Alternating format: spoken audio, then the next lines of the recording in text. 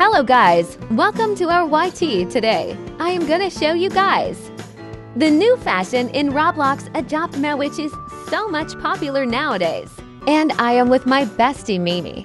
Hi Mimi, Hi Nahida.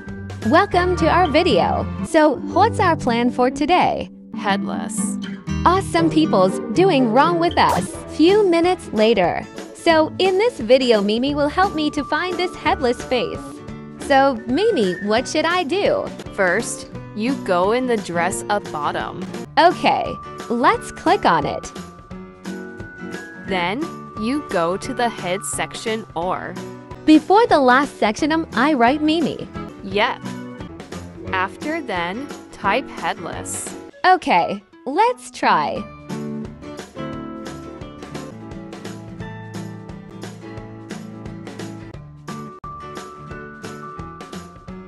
So you can see it's worked. Done Mimi, we did it.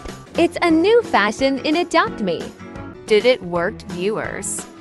So must try this out. And yay, guys, let me know if it worked or not. Comment guys. And like the video. Of course, subscribe this channel.